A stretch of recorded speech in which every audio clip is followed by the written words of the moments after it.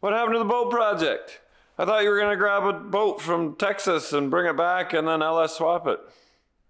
Well, not everything's in this video, but we composed enough uh, of the footage together that we completely transformed this boat into exactly what we said we were gonna do. Check it out. Here we go.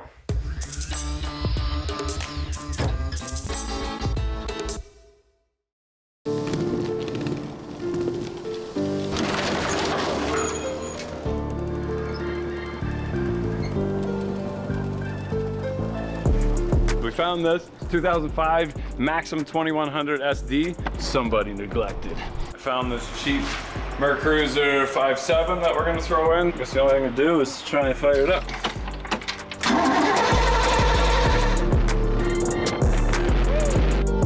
It's funny how you just change one thing. It doesn't even have to be, and it's like a whole new boat. Ian's coming to do some final measurements. We got a really neat design for the outside. We're gonna take the old stuff off. We're gonna polish the whole boat, and then we gotta do the wrap. Okay, so we're at Scott's, Northtown Machine, and uh, I like to make things complicated. If I can save $1,800 worth of fuel to put the family on that, I will.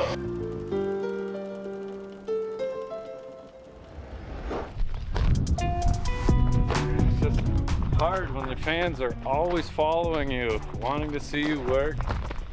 Crazy. All right, so this is a nice six liter 2008.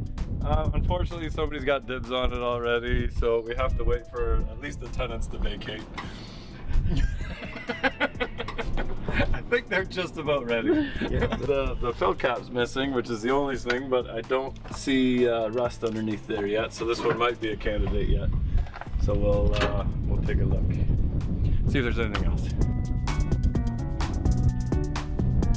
There's one right here. I've brought parts off of this block before, but I don't know whether it's five three or.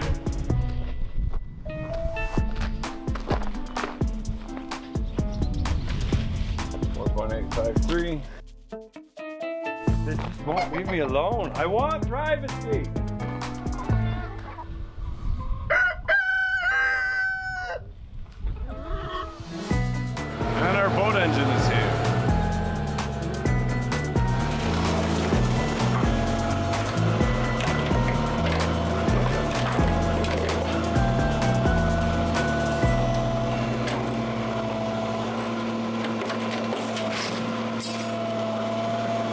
Is, uh, older 2000s with a six liter. We're gonna take this out and uh, this is an old fire truck, so I think it's uh, very well maintained.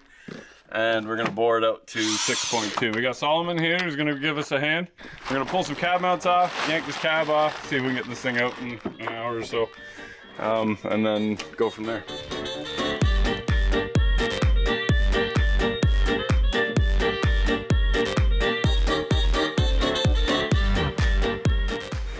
I gotta try and remember how these work.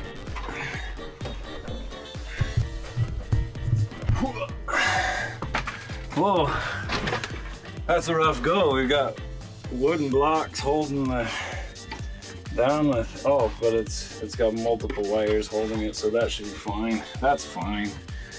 It's been a while since I ran one of these, so I gotta, there's something. And then the handle down. And then that makes it go up. We'll just let it warm up for a second. And then something back here. Oh, that's your, there we go. That's your stabilizers. Okay, see that one's hidden underneath that armrest there. All right, we got her.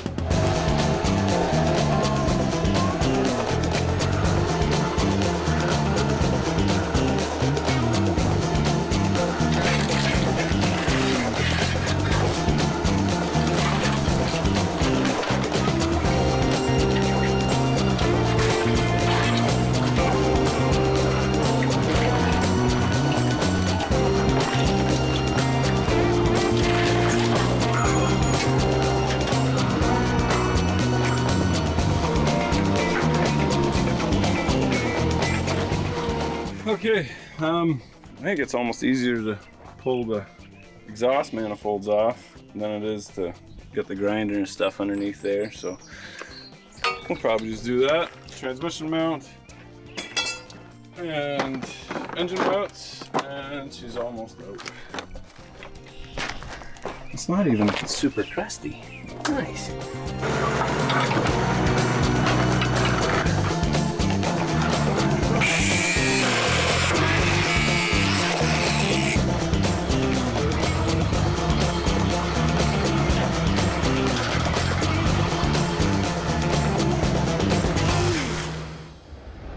Okay, there she is. 6.0, nice and crusty. Um, we got her all out. We're gonna take the 480 off, put that in the trailer somewhere, strip off all the goodies. We've got lots of uh, goodies to throw on there and make it look brand new. So I'm excited about this one. Here we go. Okay, she's all stripped, and even though we're in Ontario and it's all rusty and crusty, it was a fire truck. So look at that. Um, it's like it's like brand new. So uh, we know it's good on oil changes. I could probably take this engine and throw it right in, but we've got all the internals from our 6.2 that we rebuilt into a stroker for the 55. So might as well make the 6.0 a 6.2 because 0.2 is better. Here we go. Okay, so this is how I'm gonna send it to Scott because we're gonna use the heads off of the 6.2 anyway. And uh, I'm glad we did this anyway, just because I don't know if you can see these marks. There's definitely some marks in the cylinder. They're not perfect. See those dots? I don't know what those are.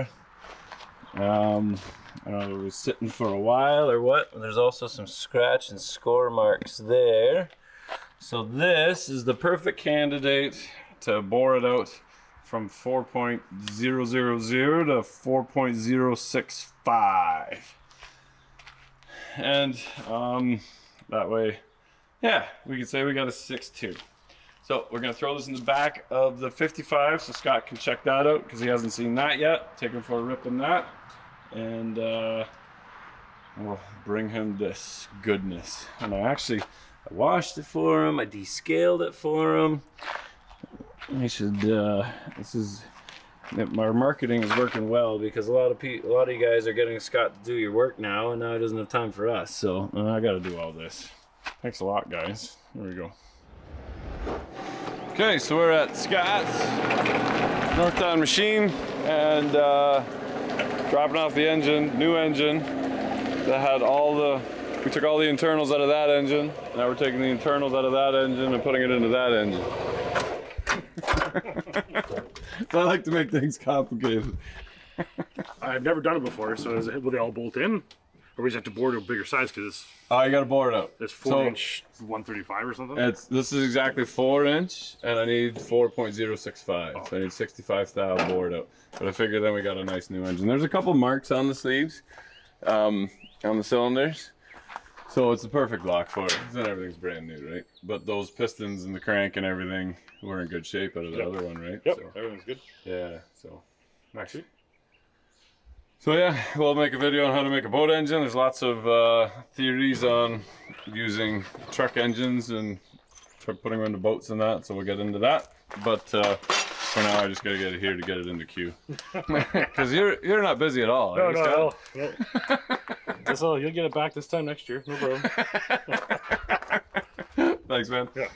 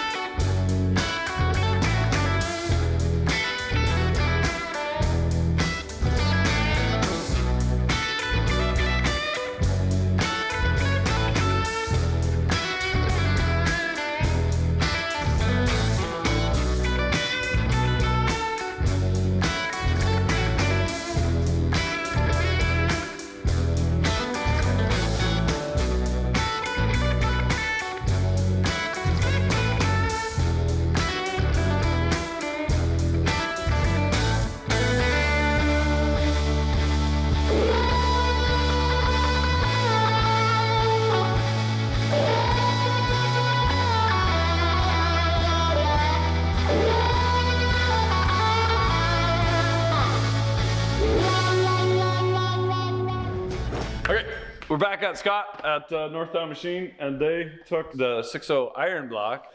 We thought, why don't we bore this one and turn it into a 6.2? Yep. So you've done plenty of those. Nope, this is the first one. To be honest, So it wasn't hard though. It was easy. No? no, really easy. So yeah, so now basically it's a brand new engine, right? And so the, the, we spec the crank and the and the rods and the and the pistons and all they were all good, and that's what you said is like these all these internals are still really good. Yeah.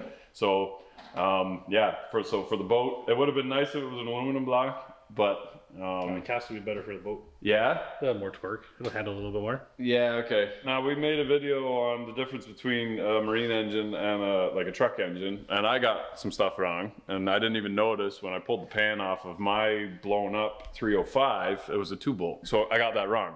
The marine engines are not all four bolts. No, no, No. What are the other differences? Um, now I'm probably some people will probably argue this with Yeah, me.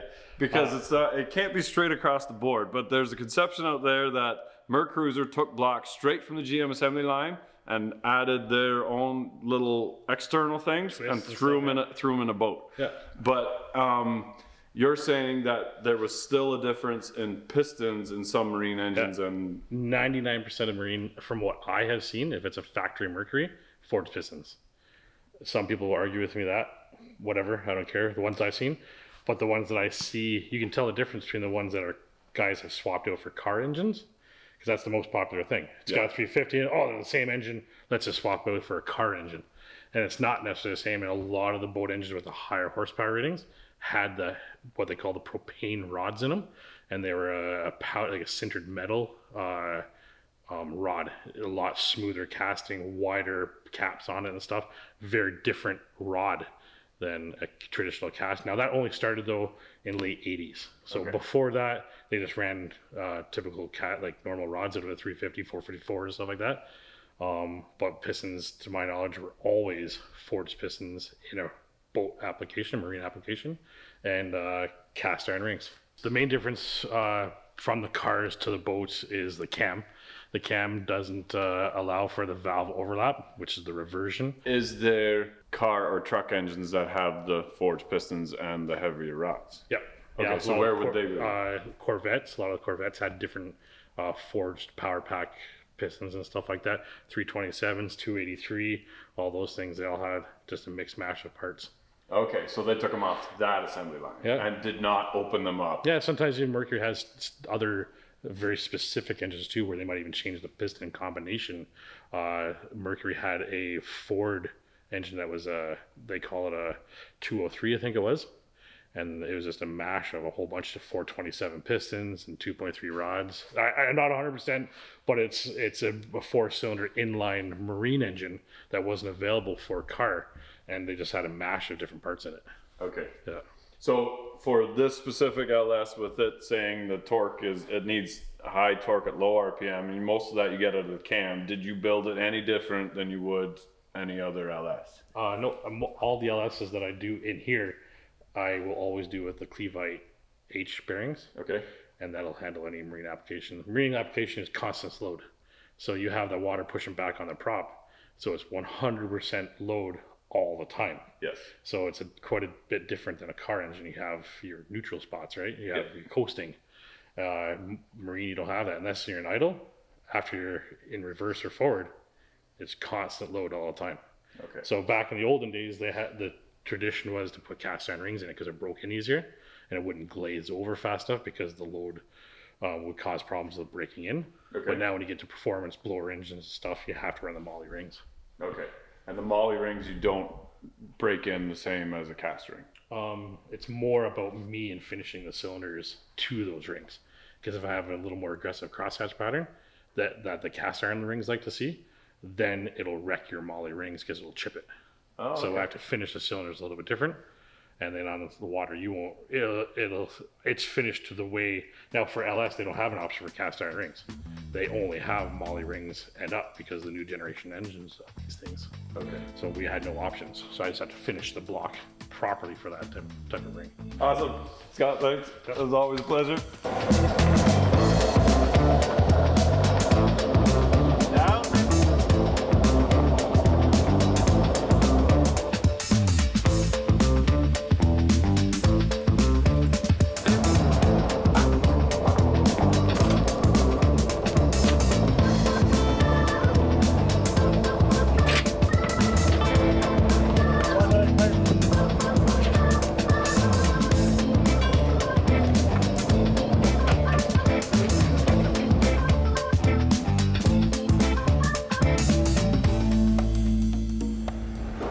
6.2 back from Scott's. I'm gonna do something different. I'm gonna paint it white because we did a really nice wrap on that boat. She looks pretty.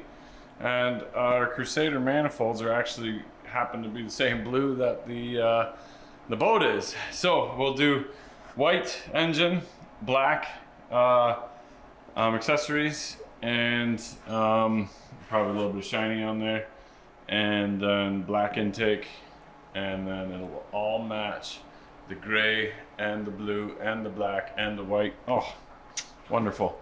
Um, now I'm just gonna hit it with a little bit of Rust-Oleum in a can. There's engine paint, but um, unless you overheat your engine, the paint will be just fine. So I'm gonna prime it and then paint it white. There we go.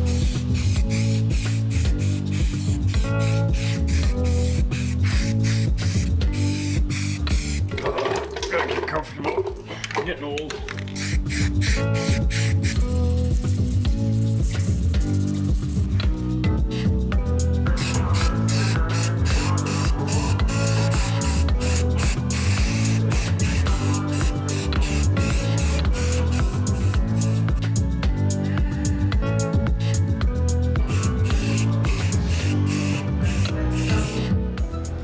All right, we got a nice blank canvas to work, you know, to start from.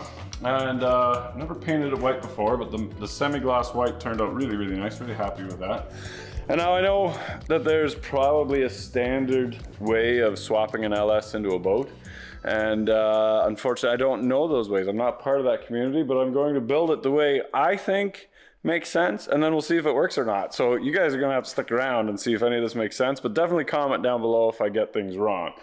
To start off with, we're getting rid of our mechanical water pump uh, for two reasons. One, the other water pump was old, and two, I have this electric water pump kicking around that I bought for something, and I can't remember what I bought it for, but it is way too shiny and nice and pretty to not use in something. Now remember that when we're building engines, we want them to last, but in all reality, that boat, if it gets 300 hours on it, that's a lot of hours for a boat. Like, right, we bought it, it had nine hours on it. Last summer, we put about another 10 on it.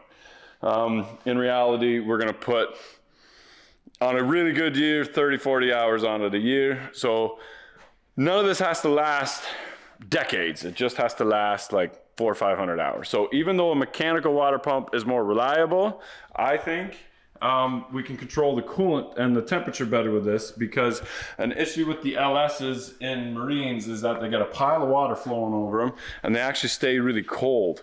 Um, they like being warm and I think we can uh, control that better with a Holley Dominator setup. So that is a standalone unit to make that run. We can wire that into the controls that are already there on the boat. So key switch, temperature gauges, all of that fun stuff we can still control. But um, we can turn the water pump on with the fan controls.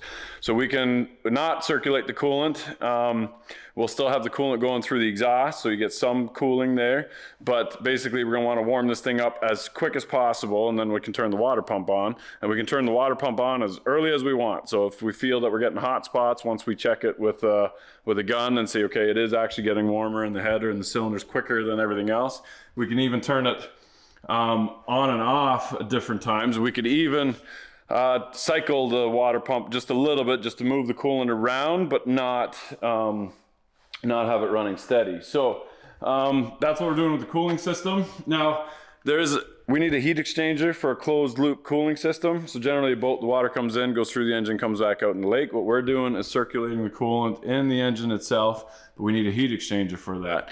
Now you can buy really expensive marine heat exchangers, but we decided to go this other route and just buy a pool heater. So this is all stainless off Amazon. It's the right size. Um, it's shiny, so it matches my water pump so we can uh, make sure that uh, everything looks pretty. But what's more important is the quality and actually just by looking at it, it's nice and heavy. You can see all the stainless pipes in there. So basically we run the coolant um, from the engine through the pipes and then we run the coolant from the lake through the outside of this. Um, that should work fairly well, and we're gonna mount that in the back here somewhere. Look how pretty that is, because we got lots of room back there. Our marine headers that we bought, and we have to modify these for an O2 sensor. Um, you can buy adapter plates that go and raise this up even more yet, but then you've got one, two, three, four different gasket surfaces, and that makes me leery. So we're gonna try and modify these, because if I screw it up, these are fairly cheap, and then I can just buy another one. We only need one O2 sensor. And then we're putting a uh, mid-mount Holley accessory drive on there. That'll tidy this up real nice. Um, so the alternator and the power steering pump are gonna come here and that looks kind of like what the Audi looks like. And then on this side, we'll run our raw water pump for our cooling system. Have to modify that to the bracket to make it fit. And that was like 200 bucks.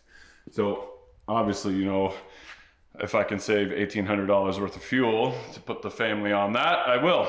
So let's put this together. Um, it's pretty straightforward. We're gonna do the simple stuff first, and then we'll uh, we'll keep chatting. Here we go.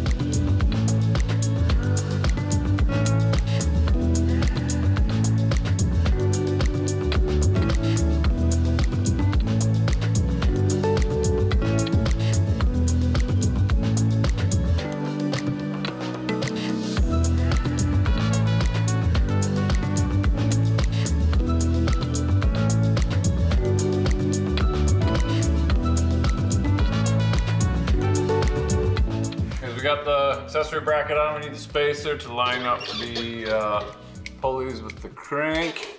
Um, without the spacer, then you're able to um, pull it in. If you've got uh, your tight for room, you can, and your pull dampener is closer in. But uh, we've got this. Also have the side mount bracket, and that actually is slotted so you can put it in in either spot as well. So you've got this little bracket that goes right here. And if you're farther back, you utilize these two holes. And if the if it's farther forward, then this hole is exposed and the bracket lines up with these two, and then it's slotted to fit this hole in the bottom there. So um, we're gonna move it forward, and then our front is pretty well done.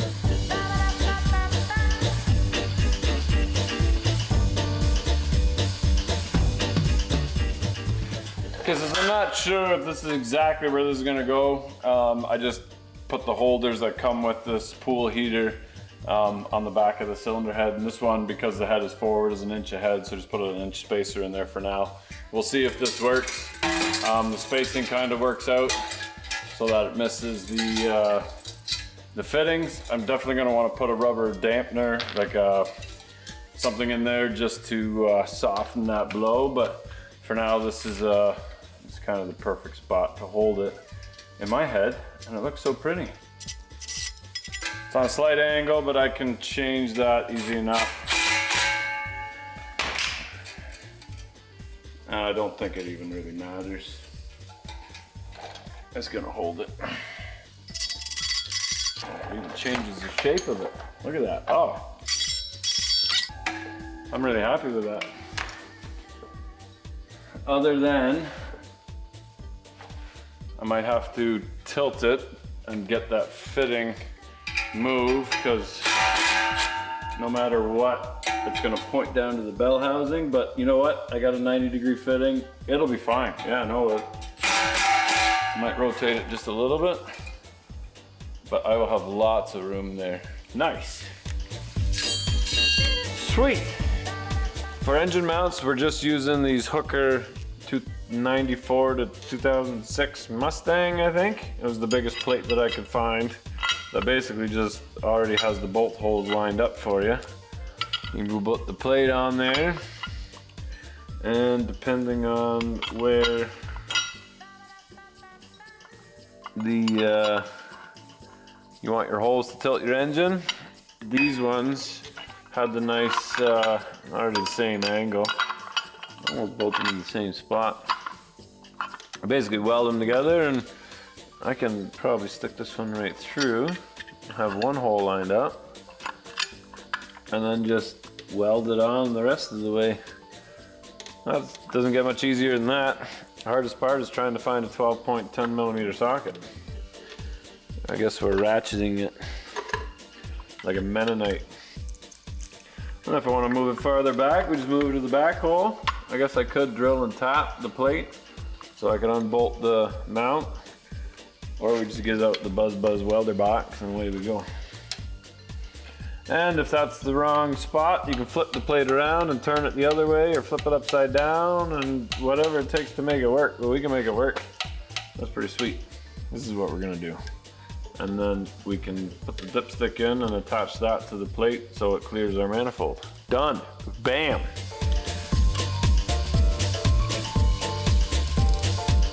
Okay, so we went with Crusader manifolds and they've got the the water jackets on either side to keep your exhaust cold. We're not doing a through through hull exhaust because I want to hear my kids screaming. And they look kind of cheap um, until you take the paint off and you see they got a really nice machine surface. One little imperfection there, but um, they uh, will do the job just fine. So we're gonna bolt that down. Um, this one will stay permanent. Try to use uh, multi-layered steel gaskets. That does work better, but um, they are heavy. So if weight is an issue, these are not the answer, but we'll bolt these on and uh, to take the paint off, just scrape them off. They paint the surfaces, I'm sure, so that they don't rust in transit, but um, uh, these will work good for us because they actually match the boat. So I'm gonna bolt that on and go from there. Even just this single one is enough to give you a bit of a hernia. Is that not like a big hernia. It's not like operating wise, but you're like, something doesn't feel right. Hernia. Know what I mean? You guys been there before? No?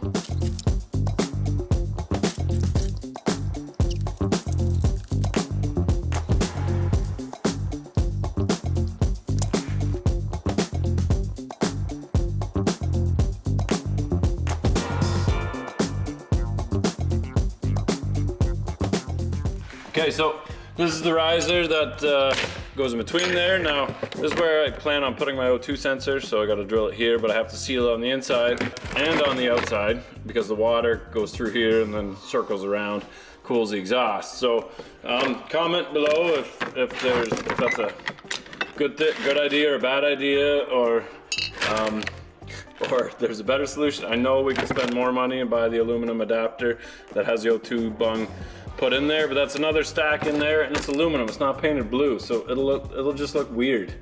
And I can't match the paint, and then the blue is gonna be slightly off, and then the, the views are gonna go down. So what, what I'm planning on doing is figuring out some way of drilling a hole or, or even threading, threading it and threading the casting and then like Loctiting that in. So, something to that effect, I don't know. But for now, I'm gonna take some threaded rod from Princess Auto um, and put these on there because I wanna see what this engine looks like. And uh, that's not gonna be in this video anyway. So there we go.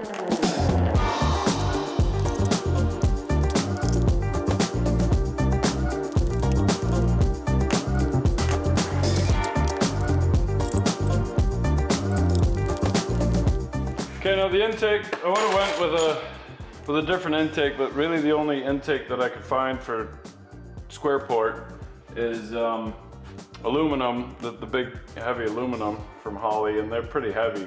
So we're gonna stick with this intake, but it looks kind of poo-poo. So I had Andy go back to the yard and pick up the factory cover just to finish that off. And actually, that doesn't even look that bad. So, that's pretty. We got lots to do yet, and we'll keep going, but uh, that's what it's gonna look like underneath the hood, or the, yeah, nice.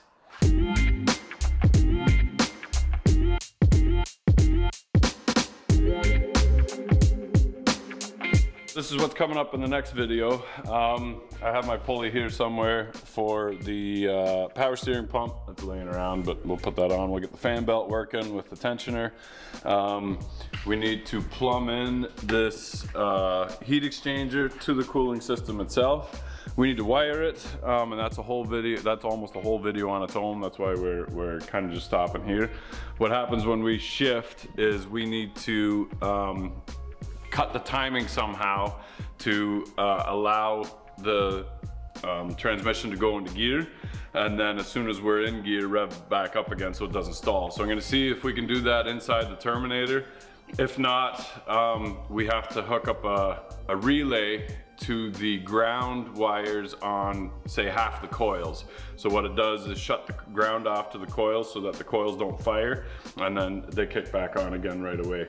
We also need to put our uh, raw water pump on there and also there's a couple other small things but you will have to uh, stick around for that video when that comes out. This is basically how I work with my projects. I work until I have a certain point where I need to order a bunch of parts. Those parts are on their way, marine starter, a bunch of other stuff. Some of those things are on delay. So that means I'm back on um, other projects. So I'm working on the Bronco here as well at the same time and uh, we're getting closer and closer to firing that thing up. So watch out for those videos. And uh, we got so much more coming up on the channel. You really don't want to miss. Make sure you subscribe so you don't miss, so you don't come back three months later and things are all different and you're like, what's going on?